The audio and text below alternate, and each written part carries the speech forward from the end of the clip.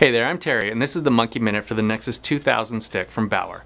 Now, since this stick belongs to the Nexus family, it has what's called a true mid-flex profile. It means it was engineered to bend or flex right in the middle of the shaft to give you a nice natural feel and release on those shots. It also features the Nexus Power Shaft.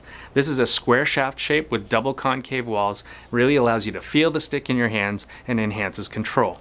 The shaft itself is made of a combination of fiberglass and carbon fiber. And the blade also has a fiberglass wrap, but it's been reinforced with carbon fiber for added stability. The blade core is the Aerofoam 1, which can also be found in the higher end Nexus 4000 stick. It also enhances puck feel. So if you're a first time buyer into the one piece or looking for a, an inexpensive one piece stick, this Nexus 2000 is a great place to start. You can find it and other great Bauer products at one of our Monkey Sports superstores or at hockeymonkey.com. Thank you for watching.